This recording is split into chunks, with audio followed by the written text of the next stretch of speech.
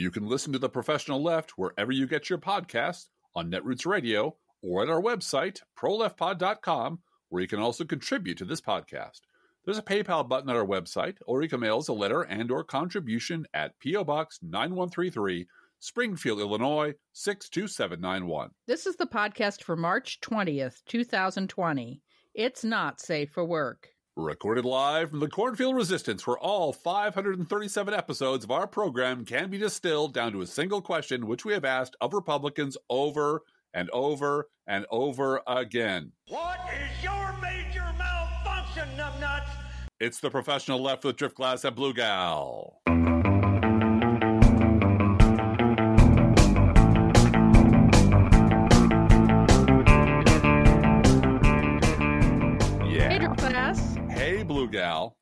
I understand we uh, have a new sponsor this week. We do. We're welcoming a, an old sponsor, actually, a new and old sponsor. I've never been sponsoring this show before. It's Right Guard. Right Guard in spray on or solid, loyally protecting the GOP from its own stink since 1980. Right Guard. Now, there's a little joke that goes with this. yes. Uh, the joke is that that is from a post I wrote uh, on March 4th, March 4th of 2006. Uh, yeah, we've been at this for a long time. yep. and uh, the only consistent through line really that you can you can sort of see from space is that republicans need to go They, need to go. they fuck up everything they touch and it, this is not a recent development this did not happen with donald trump uh, the the line of succession of failed republicans failed republican policies failed republican presidents rat fucking republican uh, aides and adjutants the entire degenerate party has been on full public display for 40 years well, in Driftglass, when whether you call it like Steve Bannon does, yes deconstructing the administrative state, yes or like Grover Norquist, you call it drowning the government in the bathtub. This is what happens yes when when you do that. When you disable our ability as citizens to work together to solve a problem, you get this kind of collapse in the midst of a crisis. Well, that's what Lincoln said government was for. To, to take on the problems as collectively that we cannot solve individually. It Mhm. also helps to have someone at the head of the government who doesn't fucking lie to you all the time and has 40 or 50 or 60 million meat bags who believe it and act on on the lies they're told every day. That's what screwed this thing up. That we were going to have a, a, a pandemic. There was going to be this terrible virus that is uh, thick in the United States now. We're recording this on Friday afternoon, and there won't be any news roundup today because the news is all coronavirus and whatever And you shouldn't be getting it from us. you should be you should- getting it from someone much more immediate than Yes, us. we yeah. will separate ourselves from many other podcasts by not having a click thing that you can go to. Because if you're clicking on our podcast looking for coronavirus updates, you're doing the internet wrong. You, should- you need to go actually look at CDC websites and your local website and your local health providers. But what we can do is provide you with a little bit of context. And the context is very simple. This problem would not be anywhere near this catastrophic were it not for the fact the Republican Party nominated and elected Donald Trump and has been Mhm. backing him to the hilt ever since. They had to, they had a chance to get rid of him just a few months ago during a thing Mhm. we used to call impeachment, and they voted almost unanimously unanimously in the House, unanimously minus one in the Senate to keep this monster running the government. So if you need to take your wrath out on anyone, make sure you take it out on the Republican Party. The Republican Party did this to you. And the Republican Yeah. Party will keep on doing this to you until there is no more Republican Party. It's really just that simple. There's a lot of problems that we in the Democratic Party need to solve. There's a lot of differences of opinion, but they are differences of opinion being fought over by grown-ups who believe in government and believe in collective action and believe in science. None of which has been true of the Republican Party during most of my adult lifetime. Simple as that. keep going. Keep going. Well, I was just going to say, like for example, People want to rant today. We have heard from many people. I have to stop and take a breath. You know. Well, you know what? I, I I I would like to rant about what happened to us today. Except I'm happy with what happened to us today. We visited. Well, and we should talk about this. Uh, speaking of local healthcare providers, I'm happy and I'm unhappy yes. because we had to go to the doctor this morning. Right. Uh, we were scheduled for our regular checkup update. You know, Couple days ago. review with our Mhm. doctor a couple days ago. I called in. I said I've got I've had a sore throat this morning, and the nurse said, "Don't come in, and we're not going to reschedule you until this has passed." And I said, "Fine." I hung up the phone. Mhm. Then yesterday, Driftglass needed his asthma medication refilled. Yes. And they have a rule at our doctor's office that you can't get it refilled. Uh, if you're due for a checkup, you have to come in, and that's their blackmail to get you to come in and pay them the the copay and Right. make sure they bill insurance for an office there, visit. there is a good reason for it, but you know what? yeah, The, certain rules need to be loosened up just a little bit right for now. pandemic. Yeah. Yeah. yeah, Yeah. So uh, we went to Springfield Clinic, which Yep. is where our doctor is. They, they there are no hospital beds at Springfield No. Clinic. It is simply an office building with doctors' offices. but there is a, a really massive uh, medical district in Springfield. right. there are Um, two hosp- two big hospitals and lots of medical facilities here. It is the state capital. Yeah. And uh, people come from all over to go to the doctor and hospital here. Yes. Uh, that said, uh, we went in and uh, it was like uh, going overseas in Yeah. terms of a security check. I- Everyone was wearing a mask. I had taken my shoes and belt off before I knew no, what was happening. what was going on. there were people behind a plastic screen uh, with masks on, uh, with questions for us about fever and throat and head and so forth and so on, all symptoms. They we asked answered those questions honestly, and uh, then we're taken to the next step. This is just to go to the into the building. Uh, we were taken to the next step where they had this um, head beam, no contact, Right. temperature taking, Right. where they be- waved this wand over my forehead and told me that my temperature was 90.6, 90.6. Yeah. I said, no, that's got to be wrong. Uh, it was very inaccurate. But then once we got in from the wind and they warmed, you know, our my forehead went back to room temperature, they were able to take our temperature. Mhm. Uh, they were providing masks to people who had uh, senior citizens with them. Yep, yep. Uh, and everyone had gloves on, and everyone had, you know, it was it was a thing. It took us five minutes to get through 3 Mhm. different screenings, and uh, then if you've ever seen the Andromeda strain, where they go down level by level and burn Level their clothes at each level, yeah, it wasn't Yeah. quite like that, but it Yeah. felt like they had a process, and we felt comforted thereby. And we went into the uh, doctor's office. All of Mhm. the receptionists had masks on, Mhm. and it was it was really a thing, and lots of hand sanitizer everywhere. Uh-huh. Uh, no no COVID testing that we could see, No, but. no. Uh, that they'd re- doesn't surprise us. That is the failure of the federal government, right? They had rearranged the furniture so that nobody could sit, you know, no one could sit together right all the chairs were three feet apart Yep. In all the waiting rooms and uh, so it was it was a different kind of experience and we did see our doctor who did not wear a mask while he was talking to us Mhm. but he maintained a distance uh, he didn't he did not breathe into my mouth and i did not breathe out into his nose you know Mhm. as as uh, i might ordinarily do he definitely wasn't using uh, tongue depressors or Right. uh, he- you know things were a little different but uh, we did see our doctor and took care of business w- that way I had blood drawn, and that was hopefully you'll get your you'll get your asthma medication hopefully yes. in the next 24 hours Sooner or later, we are in lock lockdown here in Illinois as of Yes. uh, tomorrow morning, Yes. and uh, pharmacies and grocery stores will remain open. Mhm. Nothing about marijuana dispensaries. I'm not Yeah. sure what they're going to do about that, but yes. Uh, that worries at least one person in this house. that worries one it should, person in our house. Yeah.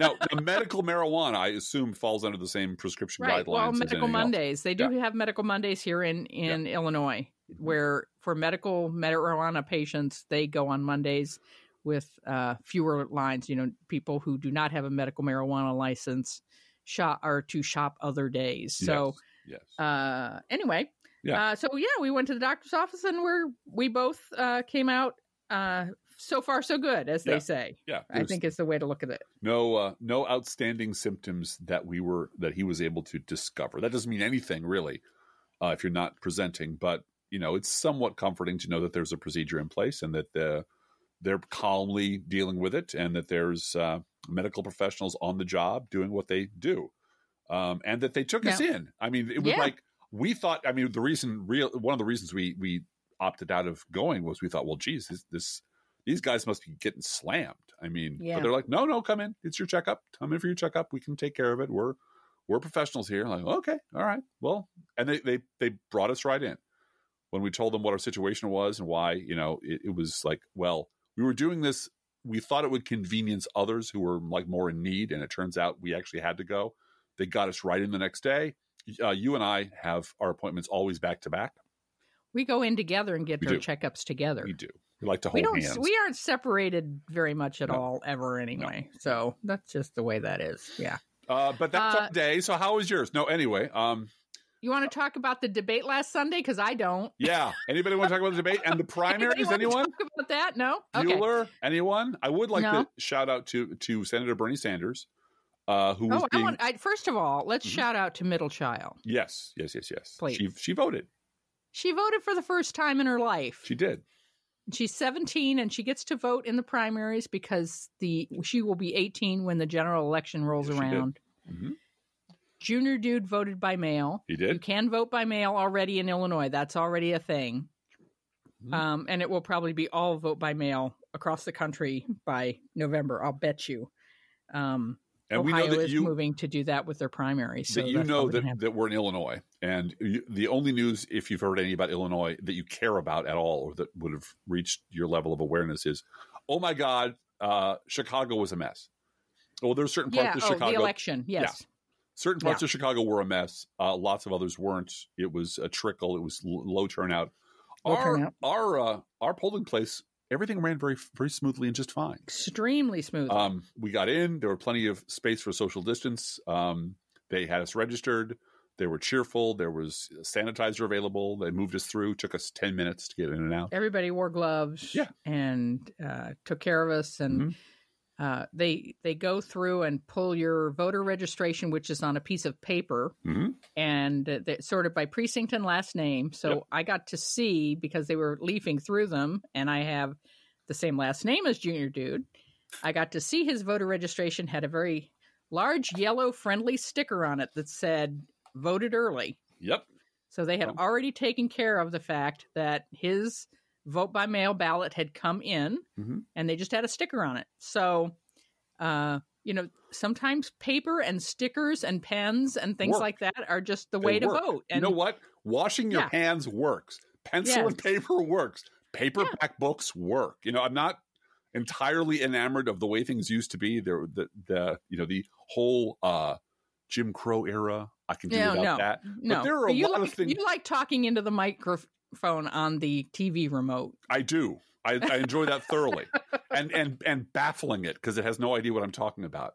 I'm sorry, and sir. if you say the F word, it tells you it can't handle that kind of language. I'm Yeah. sorry, sir. Lidsville is not a thing anymore. We can't do that for you.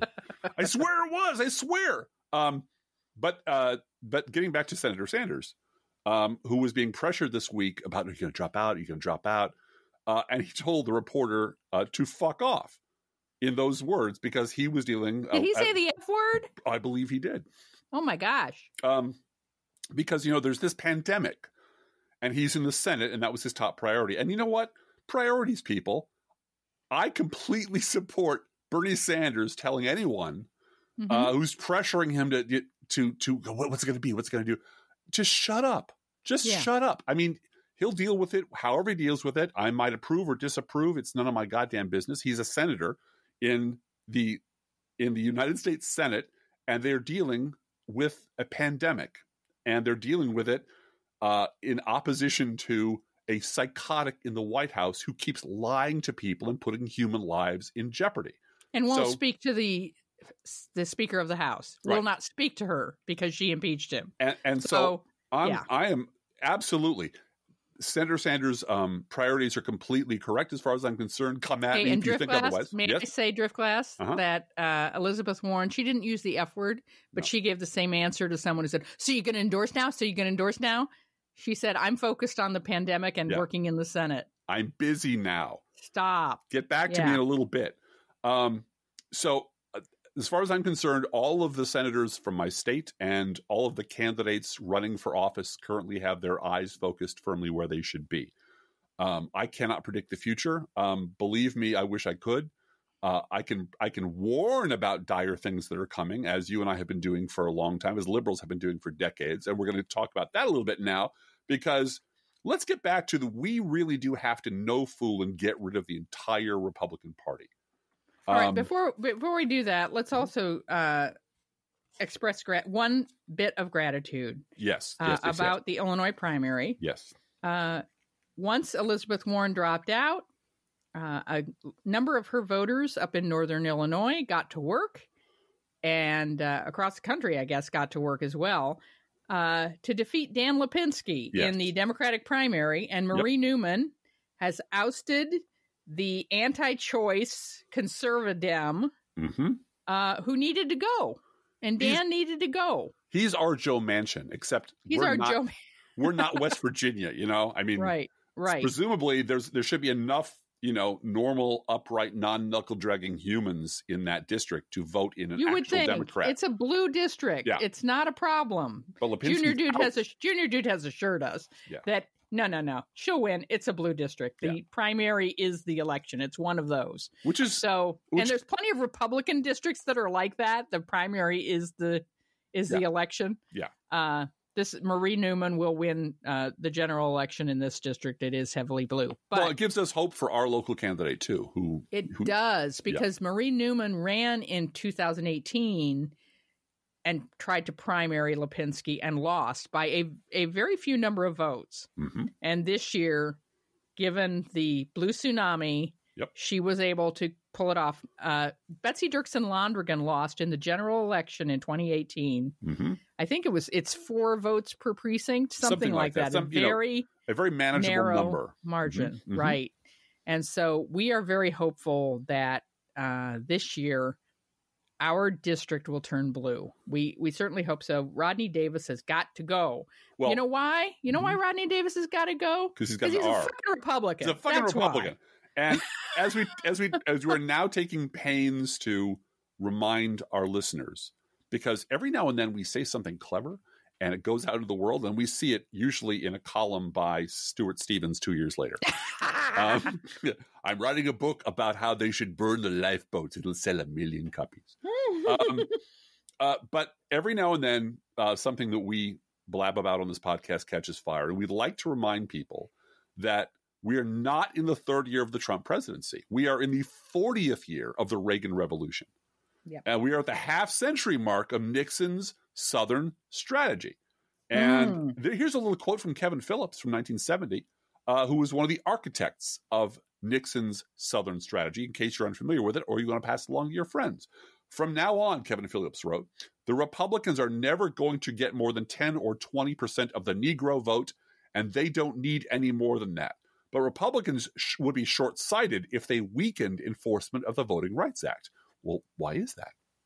The more Negroes who register as Democrats in the South, the sooner the Negrophobe whites will quit the Democrats and become Republicans. That's where the votes are. Without that prodding from blacks, the whites will backslide into their old comfortable arrangement with local Democrats. Mhm, That's was mhm. the make the Republican Party after the Civil Rights Act passed, after the Voting Rights Act passed, after Southern whites were furious with the Democratic Party, make the Republican Party the racist party explicitly as a matter of strategy. That is going back 40 years, 50 years, people. This is not a new thing. Donald Trump is the inevitable outcome of this party's strategy. And everyone who's been part of the Republican Party in a strategic at a strategic level, at a tactical level, at a precinct level, has goddamn well known it. This has been their party and they've been completely cool with it. Now, as I wrote, I'm not Kevin Phillips, thank God. Um, I wrote back in 2008. It's now 28 years later, and the conservative hate virus that hijacked a political party, a religion, and the national media and turned them into disease vectors still rages merrily along. Um, back in 2012, I wrote that the conservative retrovirus left us open to infection from a whole suite of opportunistic wingnut diseases, from Falwell to Limbaugh to Beck. Conservatism has permitted each of them and all of their mutant imitators to breeze past democracy's natural antibodies, an educated electorate, an honest press, or respectful politics, and settle in for a nice, long, parasitic feast. Andrew Breitbart was just such an opportunistic disease, another rat fucking bastard child of Lee Atwater and Roy Cohn, who took a sociopath's glee in the wide, pestilential path he carved through America's political media. He destroyed people and pissed on their graves for fun and profit, and prospered because he completely understood and embraced what a collection of monsters and meat sticks the right truly was. This has always been the Republican Party. We were going to have a, a, a, a disease, we were going to have a virus, but it never needed to be this bad. The reason it's this bad, the reason that the Iraq War crushed us, the reason that the global economy collapsed, uh, all of this is laid at the feet of the Republican Party. The first thing the Republican Party did when Barack Obama was elected to fix their fucking mess was not say, how can we all work together? How can we get ourselves out of this terrible problem that we multiple problems we're in? It was no, let's hijack the economy. Let's hold the entire fucking country hostage. And in that way, we can make a list of demands that this guy will have to give us, or we'll let the whole thing burn.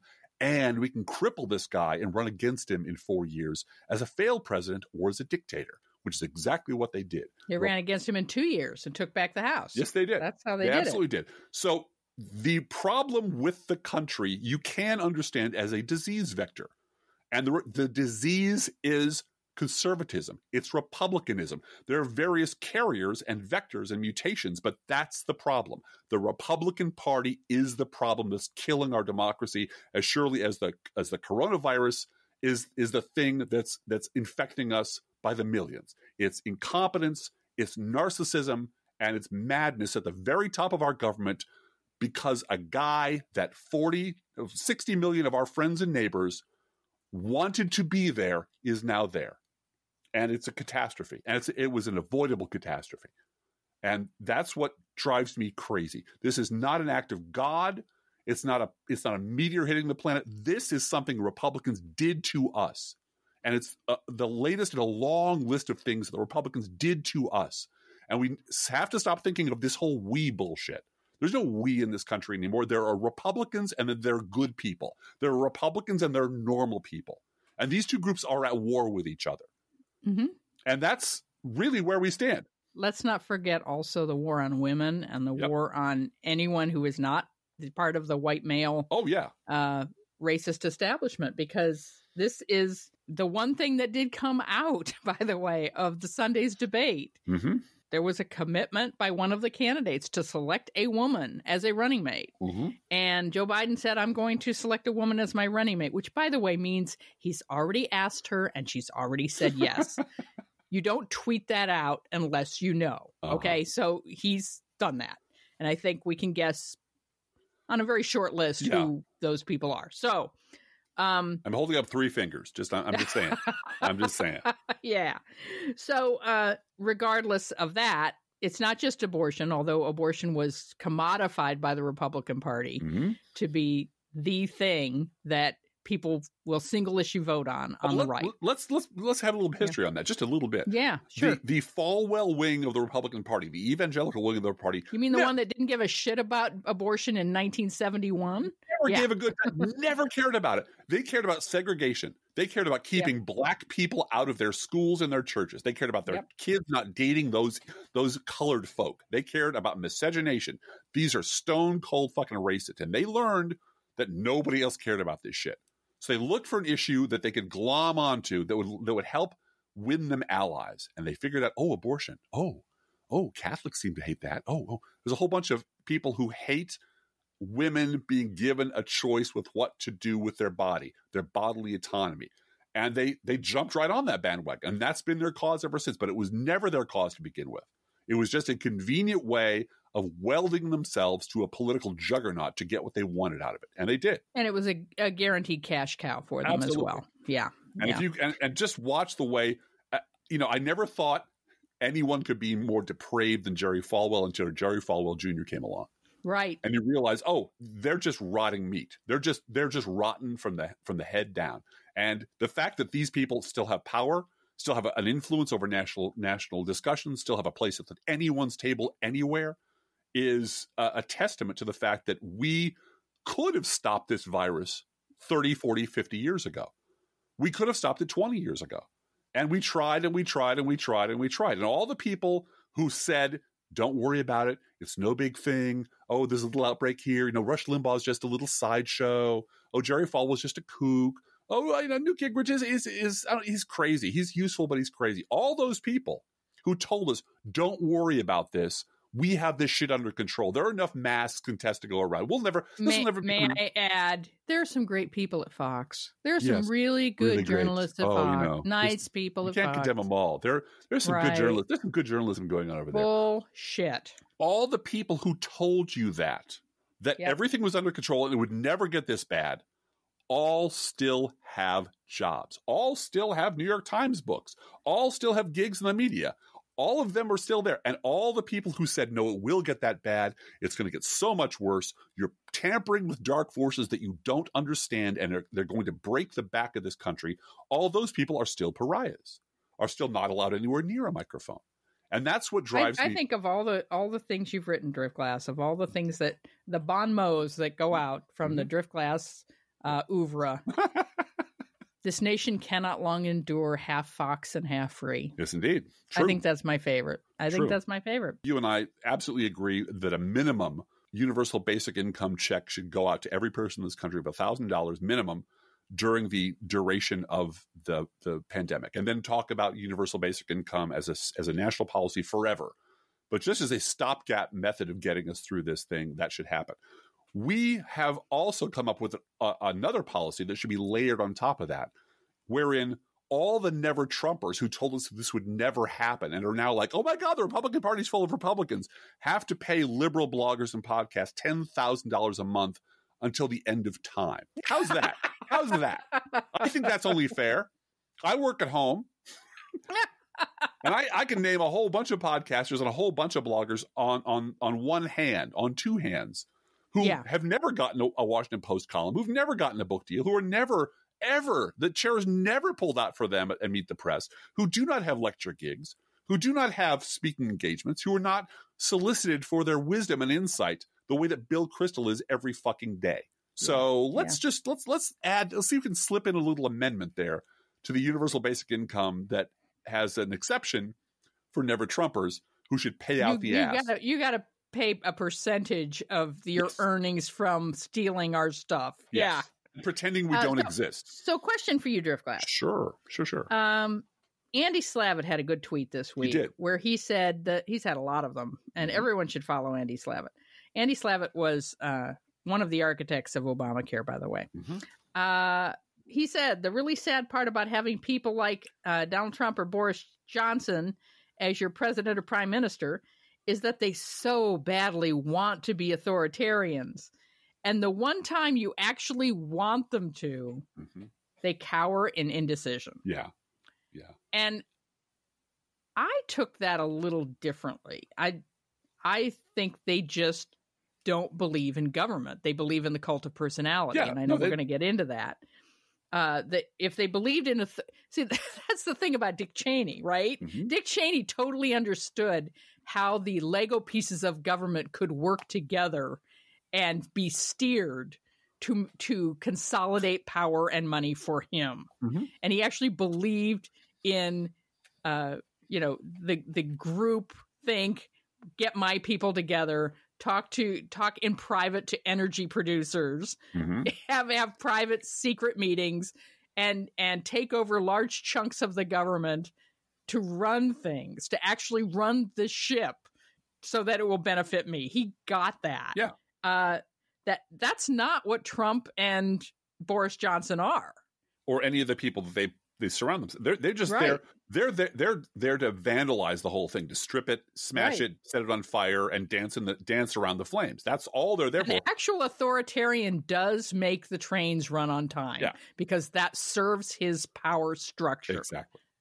Exactly. And, and you know, Yeah. the thing that I, I never would have bet on, of course, is Mhm. that uh, a bunch of liberals binge watching um, um, Andrew Cuomo. Yeah. You know, did you see Cuomo today? Tell us what to do next, Yeah. Andrew Cuomo. Yeah. home- yeah. like, okay, we can either watch The Outsider again, or we can watch Andrew. Let, Andrew let's, Cuomo let's- lead. yeah, let's watch him. lead. Oh my God, he's, he's all, it's, it's so authoritarian, but it's like, no, we're shutting the shit down. And Yep. you know that that I understand, you know that there are libertarians out there um, who think that that is just, you know, that's a bridge too far. And you know what? Let's have this discussion in a year. Yeah, right, But right. now, there is such a vacuum, a deliberate, gaping, narcissistic orange hole where a leader Mhm. should be that's sucking everything in and making us all terrified. Because every time Donald Trump opens his fucking mouth, he scares the shit out of everyone. You know, there's no, see, this is the thing. He's never going to get any better. No, He's he's, never, never going to gonna get any better. There's, unless, you know, he, Dana Bash, guess what, Dana Bash? Mhm. He doesn't catch, he doesn't, oh, look, he, he understands finally the, the gravity of the moment. no. No. No, they whacked him up on Thorazine, put a speech in front of him, and said, "Read Yeah. this." Yep. I think yep. sniff, sniff. Uh, this is a beautiful, and that's it. That's all he's capable of doing. And and when he's you know when he's not teleprompter Trump, he's a he's a psychopath. He's Mhm. attacking reporters. He's making light of things. He's just lying his ass off. And lying, this is the part uh, that has always driven me mad about Republicans. They lie so badly Yeah. because they're not lying to me. They're lying to their, they're lying to Fox viewers who were too stupid or too uh, had their head too far up Trump's ass to ever bother to check to see if, in fact, he always thought this was a pandemic. I always thought I invented the word pandemic. I took the word pan and the word demic and put them together, made the word pandemic. I invented that word three years ago. And, Yeah. and no, you said it was a hoax like five minutes ago. No, Mhm. no, no, no. news, fake fake news, news, yeah. fake news. And there are 60 million people in this country who buy this shit. And they have got to go. They have got to be shut down politically and shunned socially for the rest of their fucking lives. Period. Or else we're screwed. Which brings us to two articles you should read. Okay. Tell us about them. Uh, one is by Adam Serwer. He's a staff writer at The Atlantic, and it is Donald Trump's cult of personality did this. I would highly recommend that. Um, the autocrat political culture that has propped up the Trump administration has left the nation entirely unprepared for an economic and public health care calamity. I would argue. And let's only- personally call out Jeff Zucker at CNN for that as well. Yeah. Reality TV news has done this. Yes. And and running these stupid briefings every morning as if they're news, as if these fake indoor Trump rallies, which is what this is. This is propaganda. It is not news. It is propaganda. And Donald Trump, this is this is empty podiums of 2016 all over again. Oh, yeah. Remember that when Hillary Clinton was giving a huge sub substantive speech to unions about jobs and wages, CNN, MSNBC, and Fox all ran empty Trump podiums. The the empty Trump podium. Oh yeah, you and I wrote about it all summer long. hour. It was Right. the it was the Donald Trump empty podium hour. Yeah, always Right, right. And, and the only thing I would I would urge Adam Serwer, who doesn't listen to me, uh, is is never veer. Please, everyone, everyone who owns a pen or paper or writes anything or says anything, don't veer off into Trumpism or Trumpists or Trump supporters. These are Republicans. These are the same fucking Republicans they've always been. They haven't changed at all. They simply took And the don't be off. fooled by that rebranding Trumpism. It's it's the Tea Party in reverse, right? Right. Instead of saying we're a brand new party, you're actually labeling the old party so that you can go back and say, "Well, he wasn't a real Republican." Right, I- Trumpism, Trumpism? is something completely different from conservatism. It's not. Now, Burn the lifeboats. The guy who says this bluntly and clearly and is Mhm. scaring the shit out of his fellow never Trumpers is Stuart Stevens. yes, he is. Yeah, Uh, yeah. In the Washington Post, he, the title of his article is Republicans Like Me Built This Moment, Then We Look the Other Way. Mm-hmm. The only thing I was would add is that Stuart Stevens owes me a check for ten thousand dollars. He owes you a check for ten thousand That's all I'm dollars. and maybe ten autograph books saying, I think Drifty, he you should autograph a book to you. "God damn, Thanks, Drippy." Drift You know, Glass. I'll blurb your book for you. Uh, you have to print the whole thing. Like, yeah, that's. Uh, but I do appreciate the fact that he has gone into a place where almost no other Republican has gone, right. which is no, this was us. We did this. This is our fault. We fucked this up.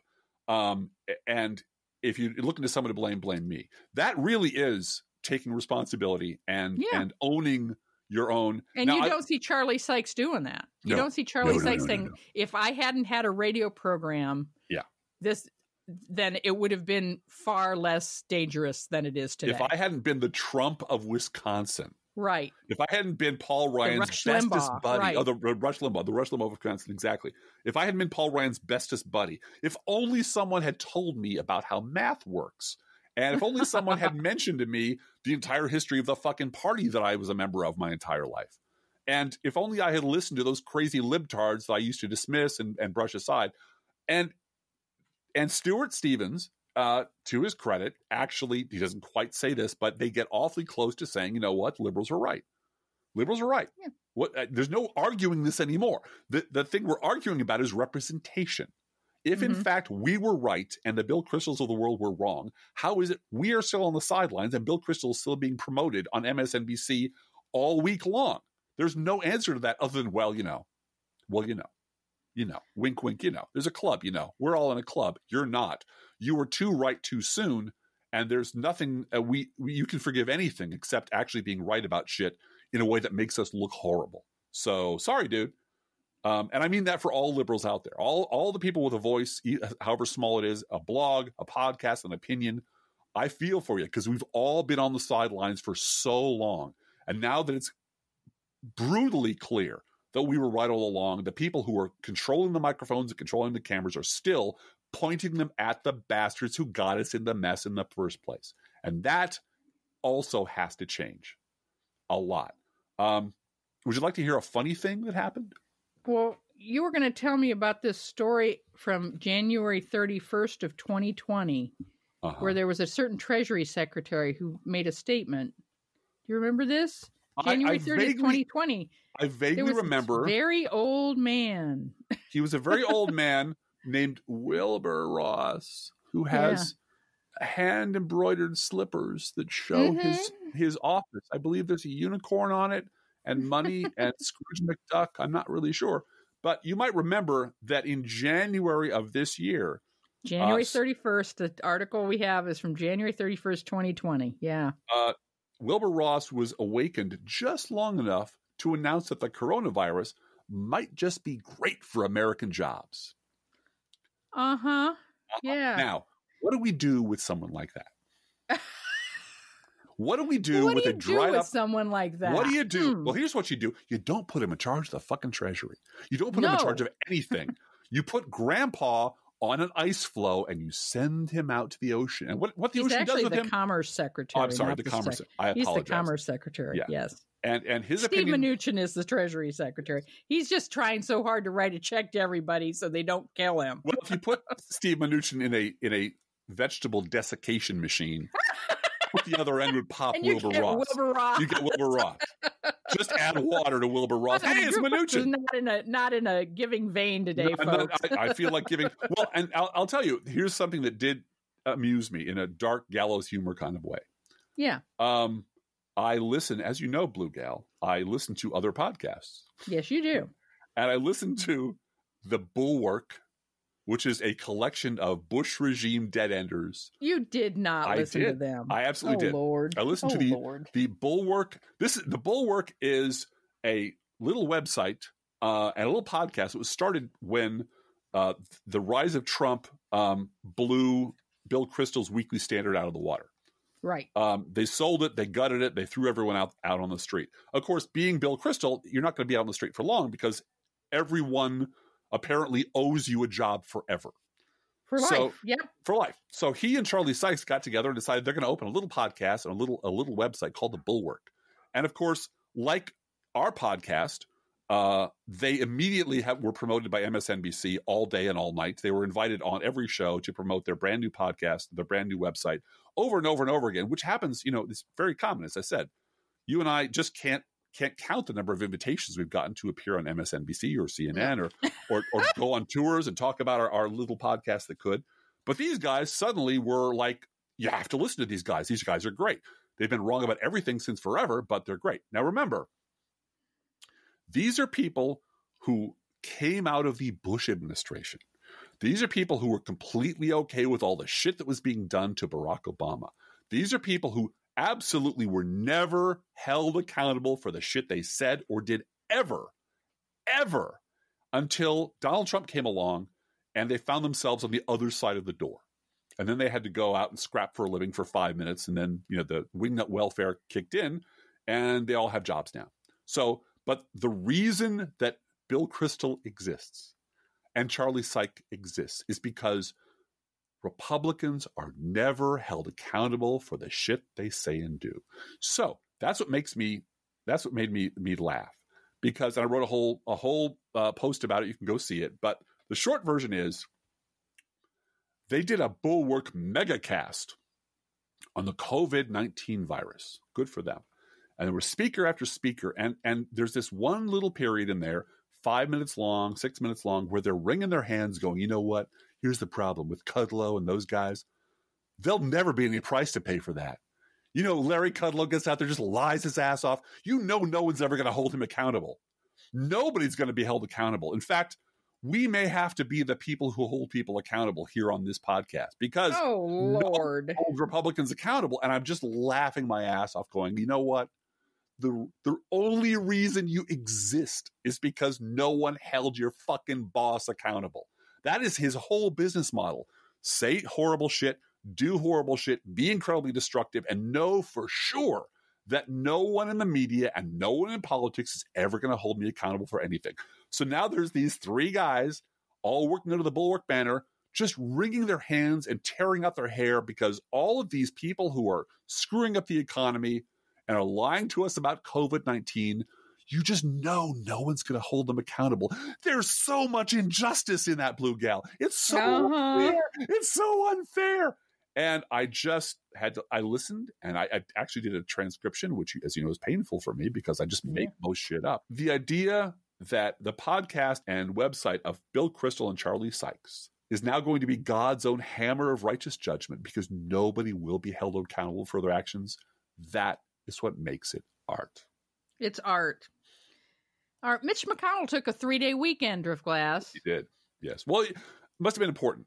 well he went he went to celebrate with Oh, Brett Kavanaugh, the dr- drunky drunk, drunky drunk, and the funky bunch. Yeah. because they have a new federal judge they wanted to celebrate who's by the way unqualified according to the aba Yeah. Uh, and then they, he also wanted to get on the phone with all the uh, older wingnut judges out there from the Reagan administration and ask that they pretty please retire before January so they can be replaced with another 50 year old unqualified, according to the ABA, wingnut uh, servant of Mitch McConnell's Yeah. policies, uh, which I will say is a little encouraging because uh, Mitch McConnell obviously thinks he doesn't, he's not going to have a chance to uh, uh, put any more judges on after January of next year. And I, I don't have any respect for Mitch McConnell, but I do have respect for his ability to count votes. Yes. And I do believe that he uh, is aware that there's a problem in Mhm. the uh, general election in 2020. Winter's coming, Mitch. Winter's coming. Uh, Trus- Trump's pressers continue to be terrifying. We're not going to spend too much time on this because uh, I don't watch Donald Trump anymore. I'm No, done. No. And all done. um, all, all I just, done. I just see people reacting to him with this kind of slack jawed. Oh my God! Did he just really? Just did he really well, say that? That is the interesting thing uh, I saw on Twitter that uh, a lot of people who are home all day now are seeing this live and are like, "Oh my God, is he really this bad? Is he really sniffing all the time? Is he really drooling? Does he really not know how to pronounce words? Is he screaming and yelling and and biting off the heads of people giving softball questions And lying. Yeah. and lying and lying and lying? Oh wow!" When did that happen? and it's a it is a different experience to watch the whole thing Yeah. you know and see the whole experience if you've never done it before you know it's been it's been what i've had to do for three years every day get up in the morning and see what he's tweeted is the first thing i do for work Yeah. so yeah. Yeah. and I do mention that to the doctor, by the way, Yeah, looping oh, her oh, back around. You know, one of the things I said is, "Don't talk to me about my weight. I have to get up in the morning and and look at Trump's tweets first thing in the morning every day." So. Stress eating, goddamn right. All right, little drinking a little too much in the evening, perhaps. yeah. you that, don't know. That happens sometime. Uh, Mhm. uh, but uh, uh, some notes here about regarding Trump's pressers. By the end of February, a Berlin startup had produced 1.4 million tests for coronavirus to ship around the world, and the United States said, "No thanks, we can create our own." Now, after numerous failures, the U.S. has the lowest rate for testing citizens of any country in the world. Mhm. We are a shithole country We are. as far as testing We are. goes. Thanks. Thank Republicans.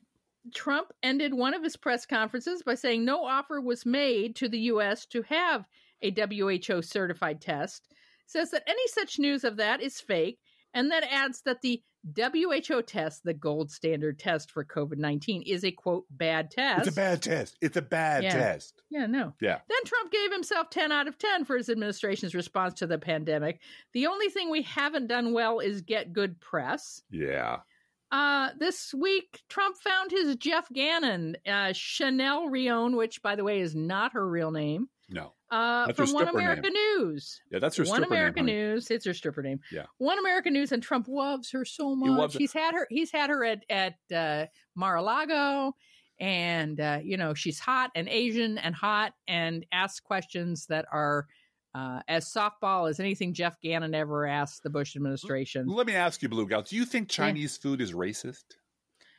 What I want to ask you, Driftglass, is do you think Donald Trump's handling of the coronavirus is sublime, superb, excellent, or awesome? Yeah, that's the Lou Dobbs scale. Is that right? That's the Lou Dobbs scale. And Yeah, and by the way, the reason Lou Dobbs is doing this, the reason he is so over the top, insane North Korea media for Donald Trump Mhm.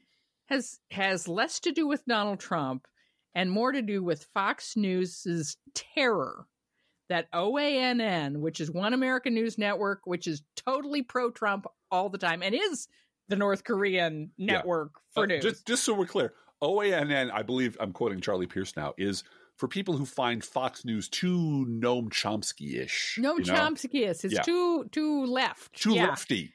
Uh, but Lou Dobbs is there to help Fox News hold on to people who would otherwise leave for OANN. Right. It is a marketing thing to make sure that those people who would never go to CNN because that's all fake news, and Rachel Maddow is the left. And so the only way they will leave Fox is if they're not true enough to Trump. Mhm. And there is an alternative for them now. It's OANN, and Donald Trump has tweeted about OANN. Mhm. And so when you see Lou Dobbs doing this thing, there isn't possibly even a better president in the United States than Donald J. Trump. I don't understand how anyone could not worship the very ground he walks on. The reason he's doing that is to hold on to that market. And when Period. Trump called on this this fake reporter, it was oh OANN, One American News. You guys are great. You guys are great. You're so good to me. You're so fair. You're so kind. Such good. And he, it's just absolutely North Korean shit. Yep. And honestly, and transactional, as Yeah. everything Donald Trump does is transactional. Yeah. Absolutely. And Yep. once he is driven from office with pitchforks and torches, uh, he will probably go to either Fox News or OANN, whichever has the bigger paycheck and the better ratings and gives him a, a platform to scream about how the deep state, you know, destroyed his presidency and how he had everything under control until the libs and the Dems and the God, the the, the Negroes and the Chinese and the Mexicans, of course, can't can't stop hating them. Uh, wrecked his perfect, perfect, perfect presidency because with their fake news and their fake racism. FYI, we wanted to let people know some good things that are happening. Yeah, You want to talk about Chicago Whiskey Distillery and the Yes. good things they did? there is a Chicago whiskey distillery which is switching over to the production of hand sanitizer. And I I posted a little thing on Twitter saying this is just great. This is excellent. And I got a, a, a ping back from someone who works there says, "Yeah, my this is my boss. My boss is doing this." And he he's talked a little bit about back in World War II when tractor factories were were repurposed to make tanks, and we had a little back and forth about how, in times of crisis in the past, the United States has ramped up production of things to a staggering degree. Um, in 1939, the total aircraft production for the U.S. military in this country was around 3,000 planes. Mm-hmm. By the Mhm. end of World War II, the United States had scaled up production so that it had cre- it had manufactured 300,000 aircraft. Mm-hmm. We can do big shit. We can make ventilators. We can make masks. We can make protective equipment. We can do all those things. And there's all kinds of private. But we could have done that six months ago and been ready for this, That's and we're not thing. because of Republicans. That's the And that's fucking the thing. thing. It is. Yeah. This is entirely laid at the foot of Donald Trump and the Republican Party, who they're the same. Uh, if I understand correctly, the same day the first patient showed up in South Korea, uh, the same day that was the first patient in the United States. And we heard from a listener of ours who is in the healthcare industry railing about Republicans talking about, well, Obama and H1N1. And she noted that she still has a pallet of Tamiflu from the H1N1 days that was already ready already for her patients when that pandemic started, Mhm. that it was ready for her. So competence matters Well, and- and government matters. The first reaction from all the wingnuts I encounter online social media, even in my civilian life, was, but what about the swine flu? Even Donald Trump was on there, go, you know, thousands died, Obama did nothing, et cetera. And there's just one fact check organization after another online. You can look up, it takes 90 seconds. Like, no, that is not what happened. That is a fucking lie. That is absolutely not what happened. The government responded as quickly as possible. They took ex- they took extreme measures and they brought it under control. Yes, there were people who died from it. Yes, it was tragic. But the way that the Obama administration handled the Ebola outbreak in Africa and the, the way Mhm. they handled uh, the swine flu in the United States were like a letter perfect examples of how you're supposed to behave. And but it was the first reaction from these fucking meatheads was Is "Well, what but about Obama. Obama? Obama was worse because but that's her emails. but yeah. her emails. That's Yeah. all. Yeah. That is how their brain is wired, and it, it's never going to get unwired. That's all they know how to do. And once that excuse failed, they got real quiet. And you can see on Fox News. Uh, I think you and I talked a little bit about emergency rooms filling up with what doctors are calling moron whiplash. Fox We- News viewers we don't expect that's going to No, happen. no. but it's uh, it would be nice if it, if it did. It is that it is that reaction that a Fox News viewer has when they the the shit that Sean Hannity and Judge Jeanine and the rest of those pinheads were telling them on Monday is Mhm. completely reversed by Thursday. And they're and and you can just see in, in their in the eyes of these Fox News hosts begging their their their viewers not to remember what they just fucking said Yeah. three days ago. And so they just get louder Yeah. and start threatening to sue, as Hannity did. Well, I'll I- sue you for libel. No, you got the video of you saying it. Well, and, and So- they, they go back to the old George Bush. You know, uh, are, what do you? Why? Why do you hate America? Yeah, know, why do you can't hate you America? get behind this president as he We, heroically we've got to fights get. the virus? This is a crisis. We can't uh, hold people accountable in an It's an emergency. emergency. I, Yeah. you know, cut and run, and and we've been through this before. We haven't been through this particular iteration of it before, but this is how they always behave, and this is how they always will behave until they are forcibly stopped from behaving this way. Rebranding as independents, and Trump wasn't a real Republican, and I never liked the tweeting. Yeah, So yeah. it, here it is in it, it's March, and we know this is coming. So what Yep. do we do to prepare for the next iteration of the Republican Party, which is I never liked the tweets, never supported him, or if only Donald Trump had gotten the support of liberals, this would have been so much easier. But they fought Yeah. him constantly, and Yeah. Forget it. forget it. Um, in other it. good news, just so you know, Well, this just tickled me that Yeah. the Met. I'm I'm sorry that the Met, of course, had to cancel the rest of their season. Yeah. Uh, the, they are going to continue to stream encore presentations uh, for the duration of the crisis, and it just tickled me that next week's schedule of transmissions is all Wagner. with fitting themes of destruction Don't do that. and redemption. I don't need to listen to Wagner at this point, but it is the soundtrack of this this era. Um, Kamala Harris is fighting the madman in the White House from her seat in the Senate and reading to children in quarantine. Yeah. Yo Yo Ma is streaming cello music from his kitchen. Tonight, Keith Olbermann starts an uh, evening series of reading Thurber again uh, on Twitter. So follow Keith Olbermann on Twitter, and you can hear James Thurber stories. What's your knitting group doing? Uh, knit apart together is the hashtag. We I I think I unvented it. I don't think I made that up, but Mhm. apart together is you know a big thing that's going on online right now with people building community. Our Sunday school is meeting online, uh, and knit apart together is something that we're working on. And there's there are online knitting uh, things happening on Ravelry where knitting groups are getting together and chatting and talking about what they're making and a lot of us are doing charity knitting. So Mm-hmm. that's a lot of fun. Uh, we don't want to leave without talking about um, the stock dump of Richard Burr or Burisma, Yeah. as they're calling it. Yeah. Uh, this is another example, though, of the but what about? hmm Uh, it turns out that Dianne Feinstein sold stocks low Yep. and lost money. Yep. And uh, that is now a huge what about? She sold stocks too. So Yes. sh- both sides are just as much criminals as anything else. Richard Burr sold major holdings and he sold them high Mhm. before the crashes as a result of COVID.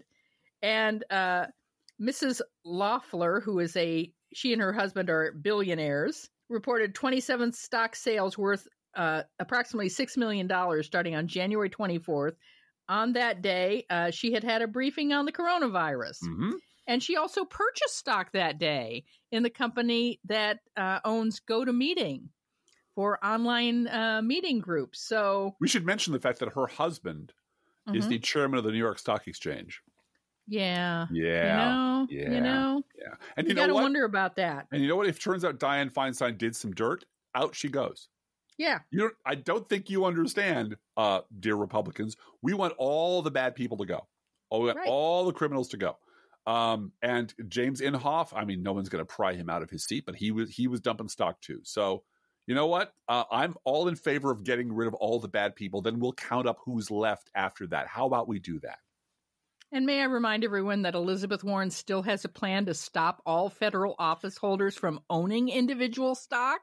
Yeah, she does. So uh, she's had she's had a pretty good couple weeks. Yeah. Um, be having having suspended her campaign, she's been on TV a lot to talk about what s- stimulus actually looks like when it works and how to avoid the failures of the 2009 stimulus. And basically, it's don't compromise with the Republicans is her answer. School's out for summer. We're Yeah. we're home. We Oh, don't expect our kids are going to go back to school this year. Uh, junior dude is definitely not going back. They've already decided that. The girls are preparing for distance learning.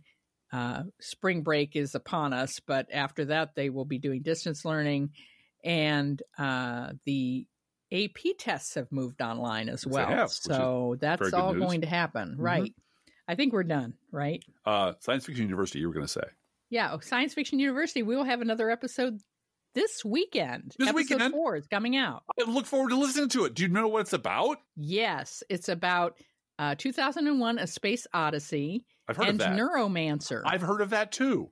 yeah. wow. Well, I now I have something to live for, Blue Gal. Each week we post to our Facebook page and website an Internet Kitty sent in by you, the listeners. Driftglass, you'll appreciate this. This week's Internet Kitty is named Spike. Yeah. Spike is Spike is a girl kitty. Yeah. uh, this picture of Spike, uh, Spike is a girl kitty. That's what happens when you let a guy name a cat. We rescued Yeah. her from the Humane Society. We went into this large room with lots of kittens, and I just sat down on the floor, and within a minute, Spike crawled into my lap, and that was it. I'd do it. hmm I had the same thing happen with my my cat Jake, who was also a lady. Yes, Um, she was. Uh, the place where I was working at the time, uh, I had a cat pass away and was looking for a, a, a new addition to the household. And uh, the place where I worked uh, had a back dock, and the dock it was hundreds of people in and out of the building all, all day long. And I knew the guys who worked on the dock, and they were feeding the cat a little cardboard box and some cat food. And of all the hundreds of people that came in and out of the building, Jake walked up to me and started bumping her head on my leg.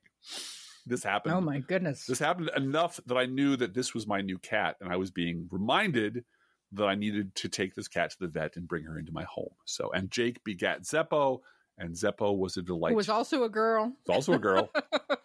Who was that? Guys naming girl cats is pretty funny sometimes. Yeah. So just trust the cat to to pick you out. That's all I'm saying.